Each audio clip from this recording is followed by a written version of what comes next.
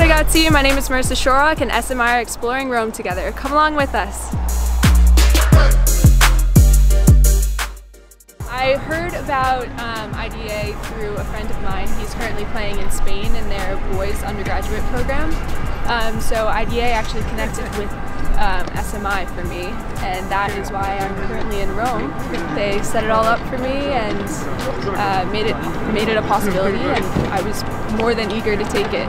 So I knew, I know that I still want to continue to go to school after this whole experience. Um, I was able to fortunately have IDA help me with finding this program at SMI and they've given me the opportunity to play um, at a level that exceeds uh, the level that I'm playing at right now with um, postgraduate players. Um, but I know I'm going back to school in the fall and I'm going to continue until I get my degree. And then who knows, maybe I'll be back in Italy after that playing some professional football with the girls who are here. Um, yeah, so I'm just trying to keep all of my options open with soccer and school and my future. I have no idea what I want to do yet, so this is just another um, way for me to explore.